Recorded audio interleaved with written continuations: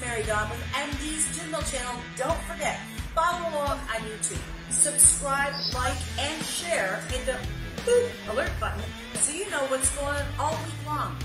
Follow us on Instagram and please like and follow us on Facebook. You're going to get all sorts of cool content and bonus videos. Cheers, guys. Oh, oh, oh, I'm sorry. Day is it? What's today? Day after St. Patrick's Day. Did you survive, you guys? Hey, everybody, and welcome to MD's Gin Mill channel, our virtual happy hour. And if you came home with your clothes and your hat after yesterday, you're doing okay. I did. I did. Honestly, I didn't even go out yesterday. I didn't. But I have a great dress that I came home with it. Okay, so how did everyone's St. Patrick's Day go? Did you have a good time? Was it warm? Was it cold? What did you do? So let us know. Let us know what you're doing today, where you are watching from, what you are drinking. Are you drinking? Because I've got myself a little rose all day. You know, it's one of my favorites. And here in South Florida, it's beautiful. It's like 87 degrees, sunny, beautiful. It is spring break in Florida. Sorry, guys, if you're not from here, you should be here. Anyways, so a lot going on, you guys. I know that you're watching. I can see you're watching. Let me know who you are. Say hi because I can't tell unless you tell me who you are. And thanks for joining us, of course. Don't forget to subscribe to our YouTube channel. We're on Instagram. We're on, of course, Facebook and also TikTok. So make sure you follow us along there. So, okay, you made it through yesterday. I know all my friends back in Rochester, New York had a great, great time. Fins up, oh, Dan Sherman. You know what I say to that? Here's what I say to that. Still waiting for that. That's right. Go Bills, baby. Bills Mafia all day. Anyways, so what's going on?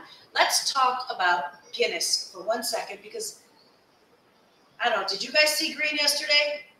I don't know. Oh, my friends up in Chicago did. My girl Patty said it was fabulous. Look at this river. Woo! Beautiful. Beautiful. Maybe next year, Dan Sherman. Hmm. We must agree to disagree. That's okay. So I just read this morning that coming to Netflix, you guys, House of Guinness. That's right. New Netflix series is coming to Netflix. A new series is coming to Netflix called House of Guinness. It's going to follow along to all the siblings that took over when the inventor passed away and all the trials and tribulations of running this giant business. So, yes, I saw it. Yeah, yeah, yeah. So, you guys check that out. It's called House of Guinness. It's coming out soon on Netflix. And I thought I'd just quickly give you a couple facts on Guinness because yesterday was the big day. And did you know that back in the early 1900s, Guinness was a feel better anecdote, and doctors actually gave it to pregnant women to make them feel better. And I know for a fact, I have bar guests that come to my bars and ask for little shots of Guinness when their stomach's upset, and it helps, makes them feel better. So Guinness does technically make you feel better. That's what everybody says. And also the Guinness Book of World Records, which was started in 1954 because these lads in the pub were having stupid, petty pub arguments. And they said, no, we're going to make our own Guinness Book of World Records so we don't have to deal with this. That's obviously before Google, when you're kind of like, oh, what was the second president's name you're fighting over with the guy that's mumbling in the middle of your bar, thinks he knows everything. You know what I'm saying? Yeah, we all got one of them, right? Anyways, so those are a couple fun facts about Guinness. And you know, they actually had a campaign back in like 1924 that was Guinness makes you feel better, quote unquote. So interesting stuff. It sure is. So, okay, I was told about these two new liquors over the weekend. So I stopped by my local liquor store this morning to try to find these two liquors, and I couldn't find them. But I ran into this awesome salesman, Pete. I know you're watching, Pete. And he actually took out his own credit card and bought me a bottle of booze. That's right. And this is what he bought me. So we're going to get right into tasting right now because I don't have a hangover because I didn't go out last night. So this is actually called Bushwhacker Coconut Rum Cream. Okay, now I know that a lot of you have been on cruises and been to Key West and Siesta Key where they've got all these daiquiri bars, and you've seen that Bushwhacker in the machine. Bushwhacker is kind of like a White Russian. This is Bushwhacker in a bottle.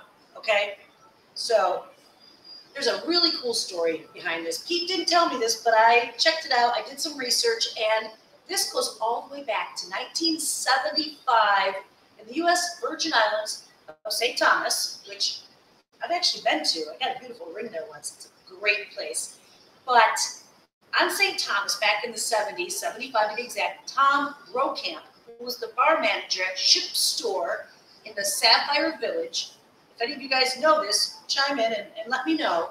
Him and his bartender, Angie, and I know, Angie, I'm going to murder your last name, Conigliaro, she was the bartender, they came up with their own concoction of the Bushwhacker. Wasn't named yet. So check this out. For a week straight, she pounded this concoction into everyone's head that came in.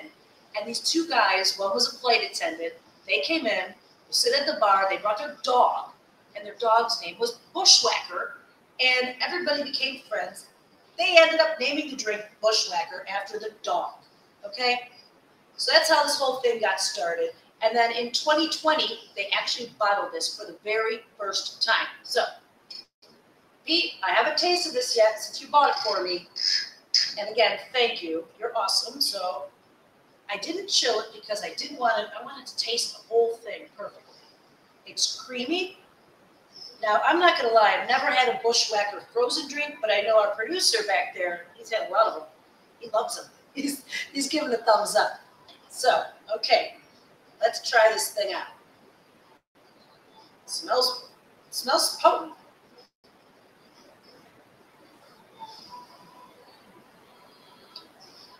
Woo! That is good. There's a very, slight taste of the coquito, but doesn't have the same spices. But this is freaking good. Ooh. Ooh. You know what? Next cruise I go on, I'm getting me a bushwhacker and I'm doing some taste. This is delicious. Absolutely delicious. Pick this up, you guys, at your local store. Give it a try. Bushwhacker coconut cream rum cream, okay? Try that out. Oh my God, that is delicious. You guys pause off back there because I know the minute I set this down, someone's going to steal it. Ooh. Ah. Delicious. All right. Woo. Okay, so while I was at the store, Awesome Pete also, he said, you got to try this other thing I have. This guy took really good care of me today. So, you know, bourbons are really, really, really popular right now. And this one here is our Old Forester 1924 10-year-old bourbon. Okay? And this bad boy retails for $225 for this one bottle. 225 And I got my paws out. So, whoever's the lucky recipient after me is going to have a good time with this. Okay, so you guys, here's a little fact and I know this may seem like school, but I just found it so interesting that back during Prohibition, over 200 distilleries were forced to close. We knew that. And Old Forester got to continue because they got a little teeny medicinal license. How do you like that? A medicinal license. So they took all the 200 distilleries product off their hands and they continued as a medicinal supply house, if you will. And this particular Old Forester is this release is commemorative to that moment in time, 1924. So let's just give it a whirl. Good, loaded. Good thing I didn't drink yesterday because, whoo, just taking a little bit of this. All right. Whew. And getting notes of fudge. Let's see.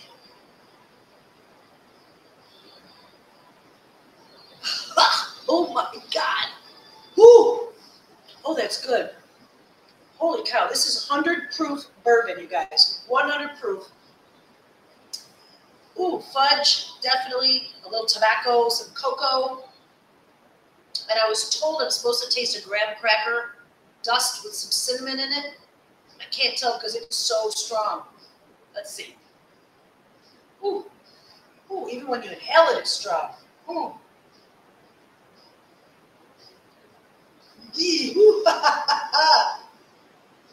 Holy cow.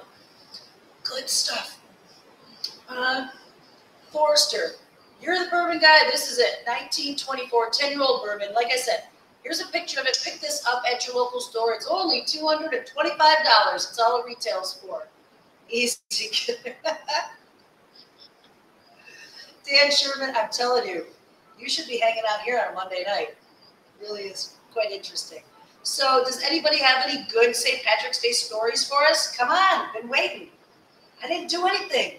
I hung out, you know, I don't know. I listened to the band from the local bar all the way to my house because I guess things travel on water, but it's pretty cool. Ooh, that is strong. But you know what? Thank God for the booze bandage because I know a lot of you guys got your booze bandage with your 20% leprechaun last week, and you still can get it right now. So make sure you get your booze bandage if you need it for this week. Lila, hey, hey, girl, what's up? What's up? I went to bed at 8 o'clock. You know, I was thinking about it today. Correct me if I'm wrong, you guys. Do you think that because it was so beautiful in Florida, that people kind of didn't really do the whole St. Patrick's Day indoor bar thing? I mean, when I lived up in New York, it was our thing because, I mean, crap, it snowed in Buffalo today. It snowed in Buffalo. So, I don't know. People went to bed around here early, so I just don't know. Anyways, you guys, that's it for today. And I want to thank so much Pete from our one of our local distributors. I don't want to say a name just in case, uh, whatever, but thank you so much, Pete. How's the coconut RumChata? We didn't get coconut RumChata today, Lila. We got the bushwhacker right here. It's amazing, amazing coconut cream rum. Absolutely amazing.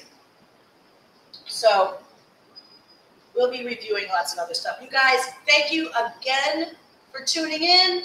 I hope you have a wonderful week. And I want to say a very happy birthday to my cousin AJ, who's celebrating tonight at uh, some golf simulator up in Buffalo. And oh, what do we got here? You said yesterday, and I agree. Seems like better turnout when it falls. Yeah, I think St. Patrick's Day needs to always be during the week. Nobody cares. They had to waste the weekend. Night love. Bye, Lisa. Thank you for joining us. But yeah, I think it should always be during the week. Anyways, happy birthday to my cousin AJ, and a pre-happy birthday to our top producer, Jim Burgos, behind the camera. Oh, he's getting mad. Sorry, guys. This week, happy early birthday to Jim.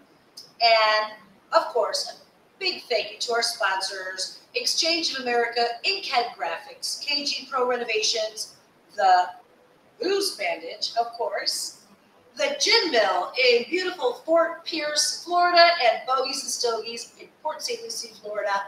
Thank you guys, guys for tuning in. Check out the Old Forester 1924 and, of course, the Bushwhacker Coconut Rum Cream, you guys. Thank you and good night.